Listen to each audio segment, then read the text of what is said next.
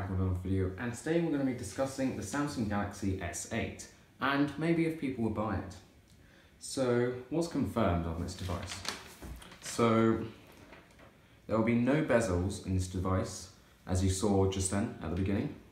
Um, we know that the release date is on the is on April the 23rd and March the 29th for the Euro, for USA, so April the 23rd for the whole world. So we know definitely that there is a curved edge display. There will be also a plus model for that, so I think it will be 6.4 inches, the plus model, and 5.3 inches for the lower model. Also, we 100% know that there will be USB Type-C on the connector, not micro USB, like most Samsung models will do, and a headphone jack. So, there's also the home button on the back, which is located right next to the camera to the right side. So I don't know how that would feel out, I'm not sure. I don't know how that would turn out because it's pretty uncomfortable to hold it like that, right?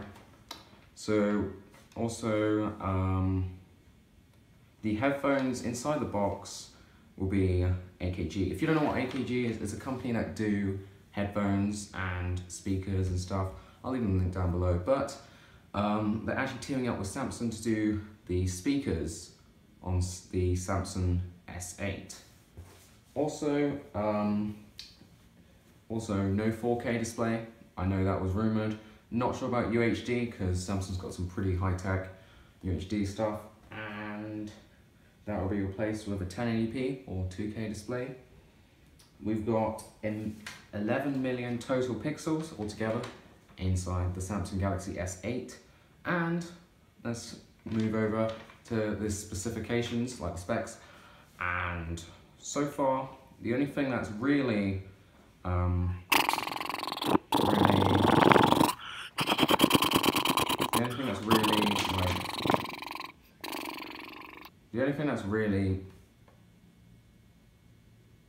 like, really true or something, the only thing that's really true that we 100% know is confirmed is that it has 4 gigabytes of RAM, not what type, and it has a 27% high performance than the Samsung Galaxy S7 Edge.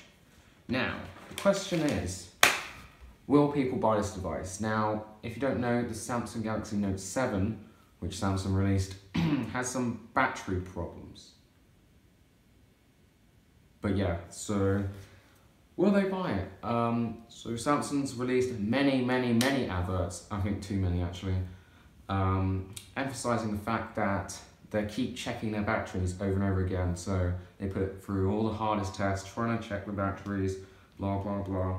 And yeah, so honestly, I wouldn't buy it. I know Samsung might would have put it under control by now, but you know, you don't really want to take the risk, do you?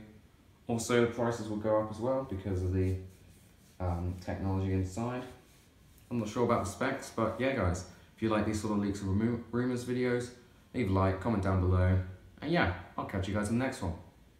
Bye!